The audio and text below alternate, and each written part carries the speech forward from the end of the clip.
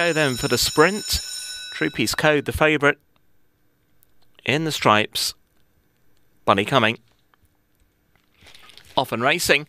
And one missed the start. Two's got the early up. Ballydorgan Des to show from Droopy's Code in the six and the five. Not so lento. Then the four Melodies Shack and one. Newsnight the back marker. They begin to head back in. Ballydorgan Des. The blues out in front from the five. Not so lento. The six Droopy's Code hits the winning line. The two's in front. Ballydorgan Des beat the five. Not so lento. Could never really land a blow on the blue jacket winner.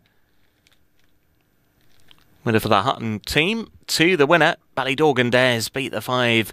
Not so lento.